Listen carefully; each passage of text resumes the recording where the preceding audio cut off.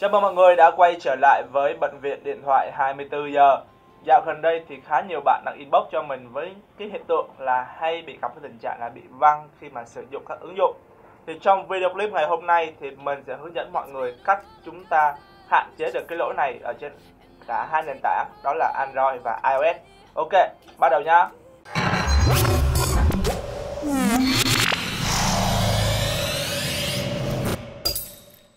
Thật ra thì có rất nhiều nguyên nhân mà chúng ta dẫn đến hiện tượng đó là chúng ta bị văng ra khỏi các ứng dụng. Đầu tiên, chúng ta sẽ nói tới cái phần mềm Android. Thì một trong những cái nguyên nhân mà phần lớn đó là chúng ta có quá nhiều cái phần mềm chạy ngầm, khiến cho cái RAM của chúng ta bị tổn thất rất là lớn. Và điều này khiến cho khi mà chúng ta vận hành các cái phần mềm mà lớn, ví dụ như là phần mềm như là game hay là các phần mềm ứng dụng như Facebook, thì cái RAM của chúng ta bị quá tải thì sẽ dẫn đến tình trạng đó là chúng ta bị văng ra khỏi ứng dụng và cách để khắc phục đó là các bạn hãy thử là xóa bớt những cái phần mềm mà chúng ta không cần sử dụng tới. Ví dụ ở đây thì mình có những cái phần mềm như là ờ, uh, VOV nè hay là những cái phần mềm về tin nhắn hay là phần mềm mà game mà lâu mình không chơi thì mình cũng có thể xóa đi để giải phóng được cái bộ nhớ RAM. Nguyên nhân thứ hai của chúng ta đôi khi nằm ở chính cái phần mềm mà chúng ta tải về. Như anh em đã biết thì là Android là một cái nền tảng mở và chúng ta có dễ dàng tải được các phần mềm khác nhau về và đôi khi những cái phần mềm này nó không tương thích với lại cái hệ điều hành của máy. Một cái trường hợp đơn giản như là ví dụ như đôi khi các anh em sẽ tải về những cái phần mềm để chỉnh sửa hình ảnh. Và khi anh em kích hoạt camera lên đó thì nó lại thông báo là không thể kết nối được tới camera. Thì đây cũng là một trong những cái dấu hiệu cho anh em thấy rằng là cái phần mềm mà anh em vừa tải về nó không tương thích lại với cái hệ điều hành của máy.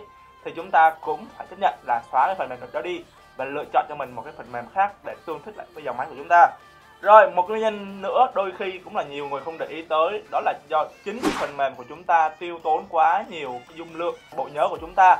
Và điều này cũng khiến cho chiếc máy của chúng ta không có không gian để hoạt động, không có không gian để làm việc. Và điều này cũng gây cho chiếc máy của chúng ta gặp cái hiện tượng là bị văng ra khỏi ứng dụng. Và cách khắc phục thì anh em vô phần cài đặt này. Sau đó là vô phần ứng dụng của chúng ta, ứng dụng. Đây đây, ứng dụng. Và hãy thử là bỏ bớt xóa đi dữ liệu, xóa đi bộ nhớ khay của một số ứng dụng. Ví dụ ở đây chúng ta có Facebook là một trong những cái phần mềm mà tiêu tốn rất là nhiều dữ liệu. Cho nên chỉ cần xóa dữ liệu đi. Đã xóa bộ nhớ đệm hoặc là xóa tất cả dữ liệu thì uh, mình sẽ chọn là xóa tất cả những dữ liệu. Rồi và đó là cách để chúng ta giải phóng bớt đi cho chúng ta cái à, gánh nặng trong phần dung lượng và giúp cho chiếc máy của chúng ta có không gian để làm việc tốt hơn. Và thỉnh thoảng thì anh em cũng phải lưu ý là trong quá trình sử dụng chúng ta sẽ có cái rác trong quá trình sử dụng. Thế nên anh em hãy là chọn cho mình là những cái phần mềm trình duyệt để chọn để chọn diệt rác. Như ở đây mình có 868 m thì mình phải giải phóng. Đó, giải phóng bớt đi. Vậy là giúp cho chiếc máy của chúng ta có thêm nhiều không gian có thêm nhiều khả năng để hoạt động được tốt mà không gặp cái tình trạng là bị là văng ra khỏi ứng dụng. Vừa rồi là những cái hướng dẫn của mình dành cho dòng máy Android. Còn với iOS thì sao? Thông thường thì những chiếc máy iPhone của chúng ta cũng có hay gặp cái tình trạng là bị văng ra khỏi ứng dụng. Một trong những cái nguyên nhân đầu tiên đó là việc chúng ta sử dụng cái chiếc iPhone của mình cái hệ điều hành nó quá cũ. Thì anh em hãy vô phần giúp mình là cài đặt sau đó là mình, vô giúp mình, đó là cài đặt chung nhé và hãy thử cập nhật phần mềm để xem chúng ta đang chạy iOS phiên bản bao nhiêu. Nếu mà iOS của chúng ta chạy một cái phiên bản quá cũ, ví dụ như là iOS 10 hay là iOS 9 thì chúng ta nên cập nhật lên cái hệ điều hành iOS 13.1 để nhá. Đây là những cái hệ điều hành mà mới nhất của anh, của nhà Apple.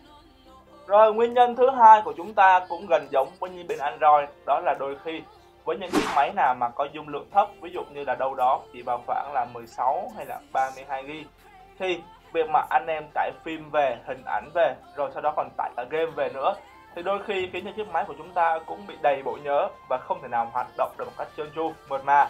Vì vậy là anh em hãy cân nhắc đó là chúng ta, đặc biệt là với anh em nào mà có dung lượng máy nó thấp, thì hãy xem xét cái việc là chúng ta hãy, sau khi coi phim xong thì hãy xóa phim đi hoặc là di dời hình ảnh sang một cái thư mục khác trên máy tính thì sẽ giúp cho chúng ta là có thêm không gian để cho chiếc iPhone của chúng ta được hoạt động. Nguyên nhân thứ ba của chúng ta đó là do cái thanh RAM của chúng ta đã bị quá tải vì anh em đã bật quá nhiều chương trình khiến cho nó bị quá tải khiến nó không có không gian để hoạt động. Thì chúng ta hãy dọn cái bộ RAM của chúng ta thì có rất có nhiều cách và có rất, rất nhiều phần mềm. Trong đó thì mình thấy khá nhiều youtuber khác thì họ cũng đã tư vấn đó là dùng cái phần mềm là CPUX thì anh em hãy click vào cái phần mềm tải trên trên App Store nhé rồi sau khi cài đặt xong chúng ta click vào phần mềm và chúng ta sẽ vô phần bộ nhớ là và chúng ta ấn dọn RAM ví dụ như RAM ở đây mình đang tiêu tốn hết 81,9% là khá nhiều. Và đây mình sẽ ấn một phần dọn RAM rồi đó thì việc chờ đợi cho chiếc máy của chúng ta là dọn dẹp xong RAM rồi chờ một chút nhá.